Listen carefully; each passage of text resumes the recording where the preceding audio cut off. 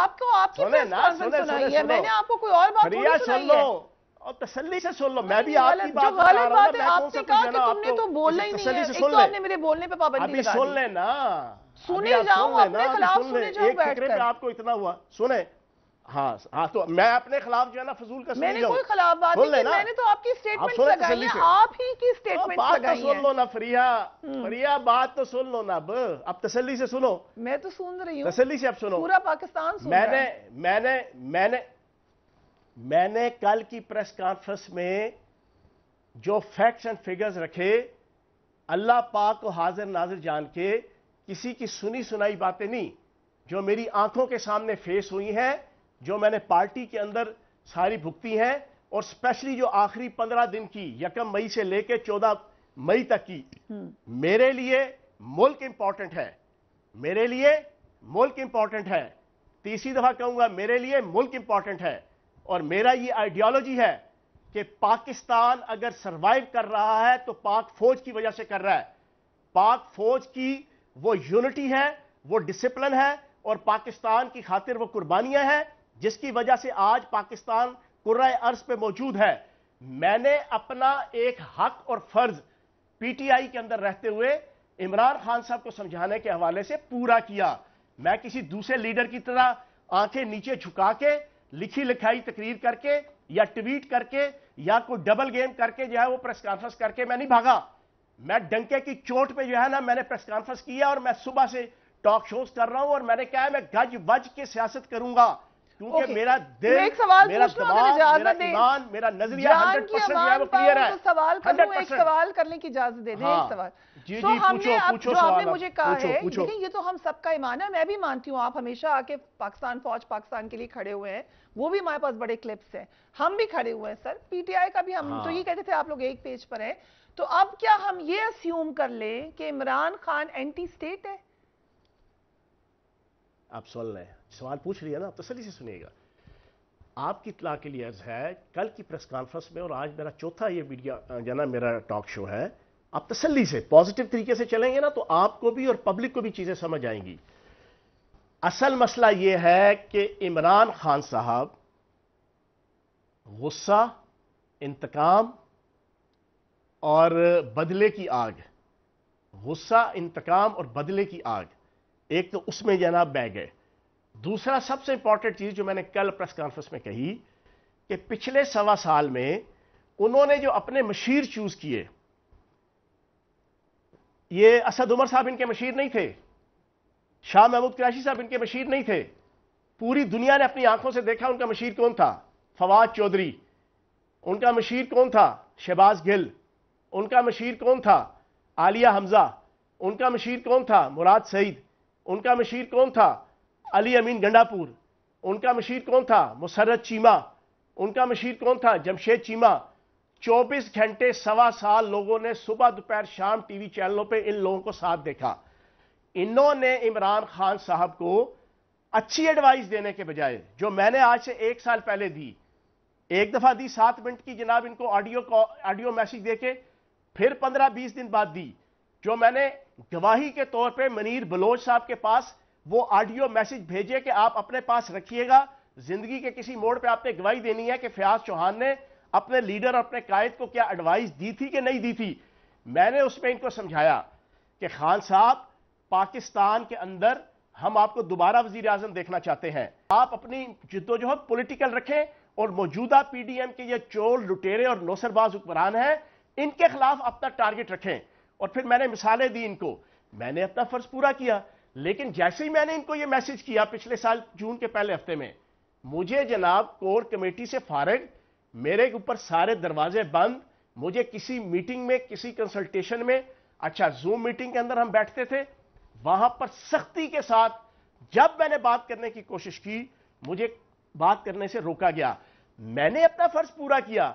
अब अगर कोई मुझे यह कहे कि तुमने अपना सॉफ्टवेयर चेंज हो गया और भाई मेरा हार्डवेयर भी से पहले आप गिरफ़्तार हुए उस वक्त तो आप नारे लगा रहे थे ना खान साहब के।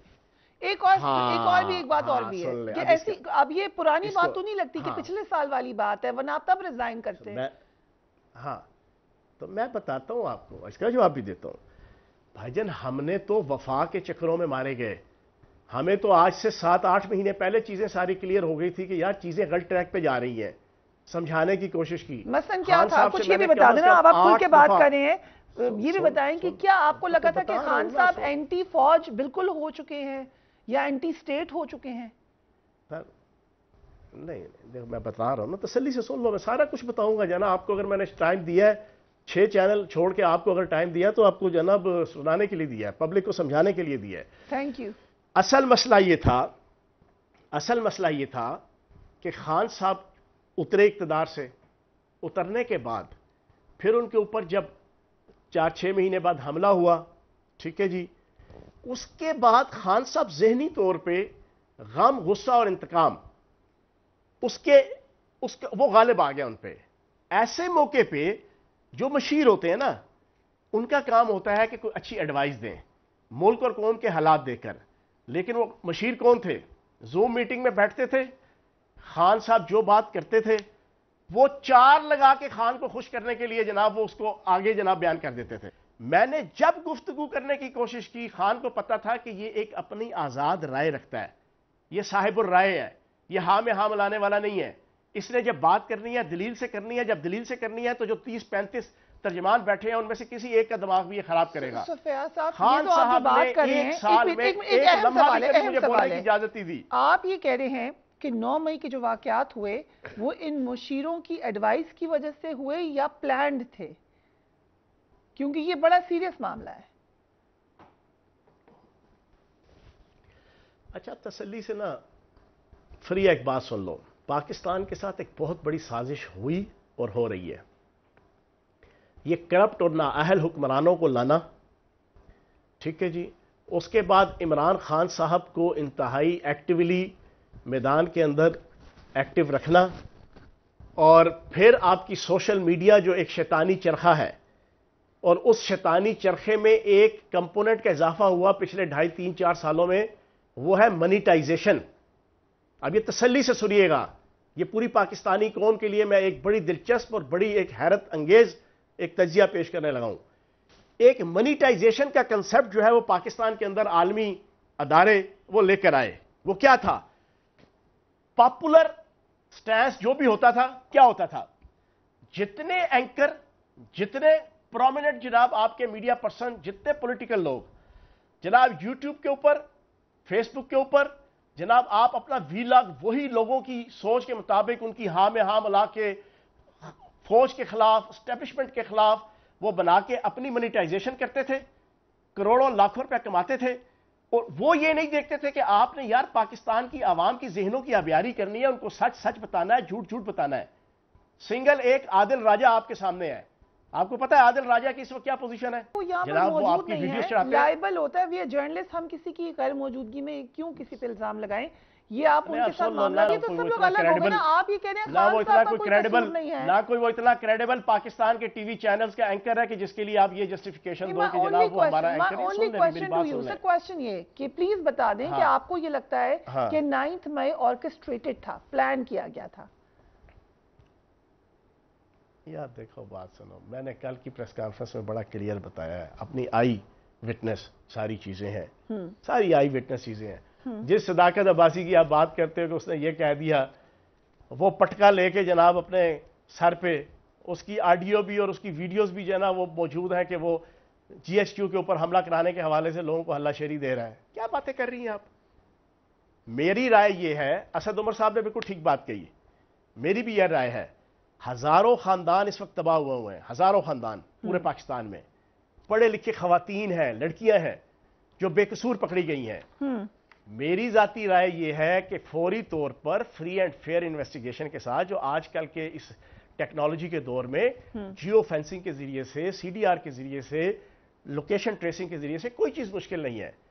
जो लोग बेगुनाह है उनको फिलफोर छोड़ा जाए so, जो पीटीआई के so, जो गुनाहगार कौन है? This is the main point आप ये कह रहे हैं कि प्लान था। दिस वाज प्लान्ड कि हम जीएचक्यू पे जाएँगे। भाई गुनाहगार का गुनागार का पूरा डेटा जो है ना एजेंसीज के पास पड़ा है और आपकी सोशल मीडिया के ऊपर भी जनाब आ चुका है।